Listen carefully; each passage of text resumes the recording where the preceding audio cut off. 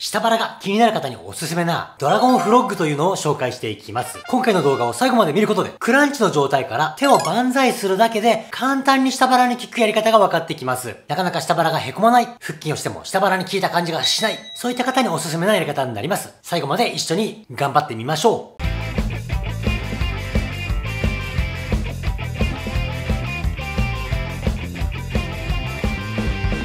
はい、皆さんこんにちは、タートルです。今回ですね、下腹鍛えるのにおすすめなドラゴンフロッグを紹介していきます。とってもシンプルで簡単に下腹に効くやり方になります。たったの5回なんですけども、今回はしっかりやりたいよって方のためにですね、3セット一緒に頑張ってみましょう。しっかり3セットやることによって、姿勢の改善、食後に出やすいお腹、気になる下腹ぽっこりが改善されてきます。今回できれば、ああいったバーベル、ケトルベル、もしくはペットボトルなどがあれば用意しておいてください。もしない方はスマホ持ったままでもいいです。ある方はしっかり効かすことができるんで活用してやってみましょう。それでは紹介します。まず、下腹に効かすポイントとしては、腰を丸める、お尻を締めるっていうことが大切です。その意識を行いやすくするために、まず、キャットバックを20秒間ほど一緒にやりましょう。スマートフォン顔の前を置いて、四つん這いになります。ここから、通常ストレッチをする場合は、反って丸めてっていうことを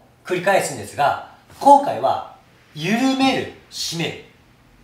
緩める、締めるっていうだけです。このしっかり腰を丸めてお尻をキュッと締めるね。この腹筋がすごく大切です。これを意識しながら20秒いきましょう。スタート。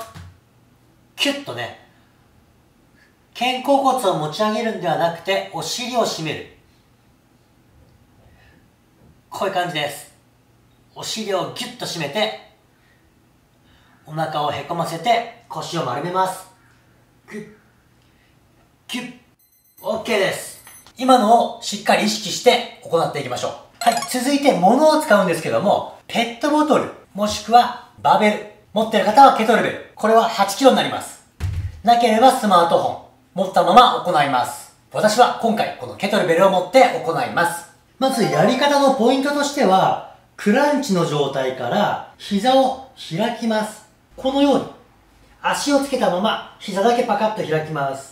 クランチから膝を開くことによって腰が床につくと思います。腰が床についた方が腰が丸まりやすくお腹に効きますんで、しっかりね、腰を床につける意識をしてください。スマートフォン、または重りを持ちます。ここから息を吐きながらゆっくり万歳していきます。寝たままです。手が後ろに行った時に手の重さでお尻を少しこのようにね、このくらいお尻を締めます。さっきのキャットバックと一緒です。キャットバックでお尻を締めるイメージをすると、お尻が少し持ち上がります。ここで下腹にしっかり効かします。お尻をしっかり締めて、息がなくなったら体を起こします。一回やってみます。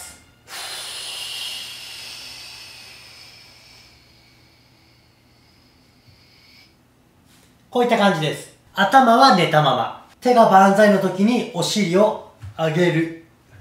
息がなくなった時に手を戻す。といった感じで5回です。それでは5回やっていきましょう。スタート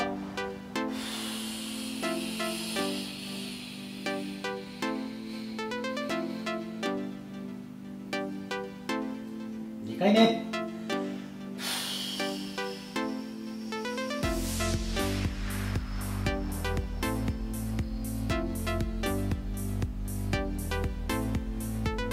回目。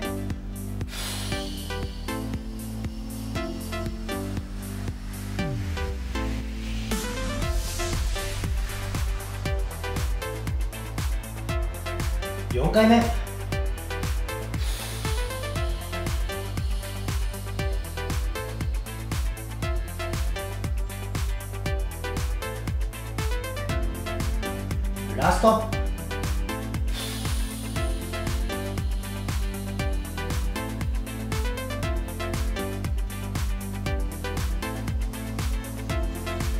OK!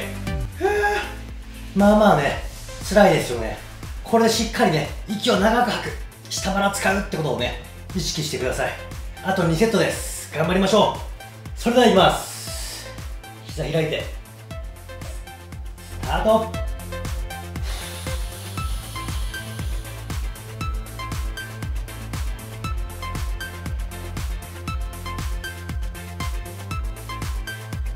2回目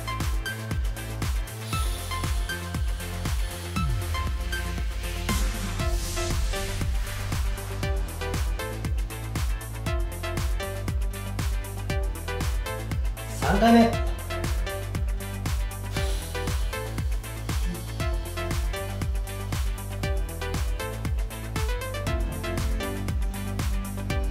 あー辛くなってきた。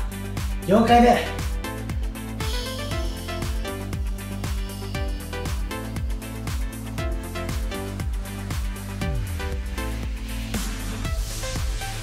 ラスト。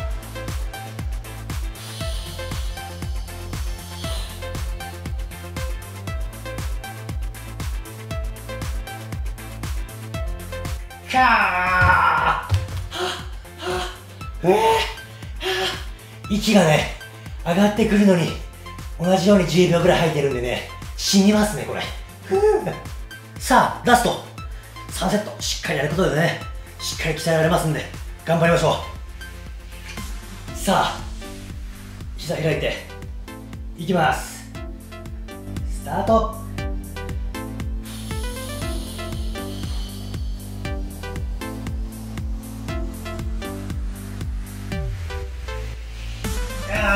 きつい。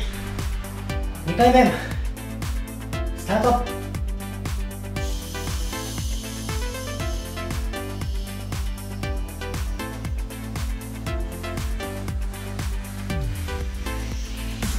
3回目。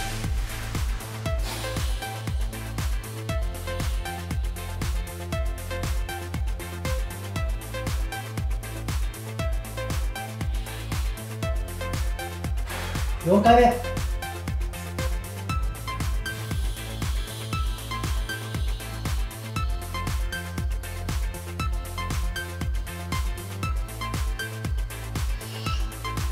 ラスト。